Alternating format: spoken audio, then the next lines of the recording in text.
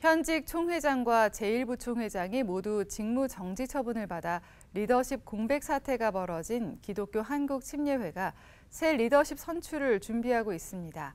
대전 중문교회 장경동 목사와 대전 은포교회 이용 목사가 총회장 예비 후보로 나선 가운데 후보 자격 논란도 제기되고 있어 교단 안팎의 관심이 모아지고 있습니다. 오요셉 기자입니다. 총회장과 제1부총회장의 직무정지로 총무 대행 체제로 운영되고 있는 기독교 한국침례회가 차기 의장단 선출 준비에 나섰습니다. 올 한 해 리더십 공백으로 교단 사역에 크고 작은 차질을 빚은 만큼 차기 총회장 선출에 더욱 관심이 모아지고 있습니다. 특별히 이번 사태 이면엔 침신대 이사 파송에 대한 주도권 경쟁 등 뿌리 깊은 교단 파벌 정치가 있다는 지적이 나오면서 이른바 패거리 정치가 되풀이돼선 안 된다는 자성의 목소리가 커지고 있습니다. 제114차 총회 의장단 선거 총회장 후보자로는 대전 중문 침례교회 장경동 목사 그리고 현 총회장을 상대로 소송을 제기한 대전 은포교회 이혼 목사가 예비 등록을 마쳤습니다.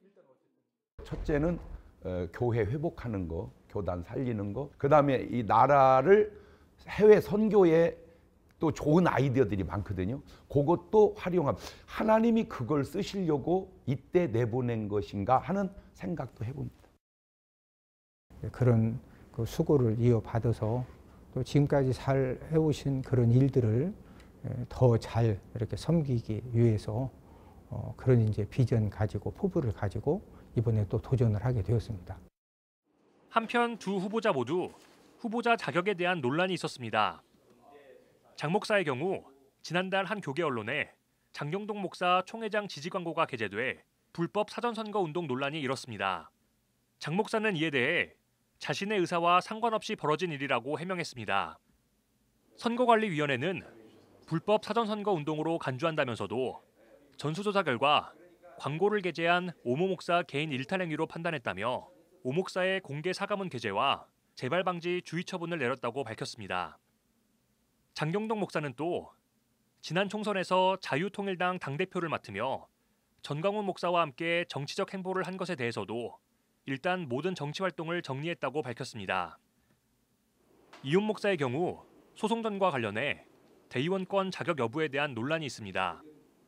침례교의 경우 선거 결과에 불응할 시 선관위에 대한 이의 제기와 기독교 화해 중재위원회 조정 신청 등의 일련의 과정을 거치지 않고 사회 법정에 제소하면 대의원권을 일정 기간 상실한다는 결의 사항이 있기 때문입니다. 이혼 목사는 이에 대해 직전 선관위 측에 이의 제기하는 과정을 거쳤다고 해명했습니다. 선관위는 대의원권 박탈 여부 등은 총회 행정부의 소관이라며 후보자 본등록 시까지 대의원권이 인정된다면 정식 등록할 수 있다는 입장입니다. 한편 총무 예비 후보로는 김일엽 현 총무가 단독 입후보했습니다. 침례교 선거관리위원회는 그 어느 때보다 깨끗하고 공정한 선거를 치를 수 있도록 노력하겠다며 교단이 다시 새롭게 세워지는 부흥의 기틀을 마련하기를 바란다고 전했습니다.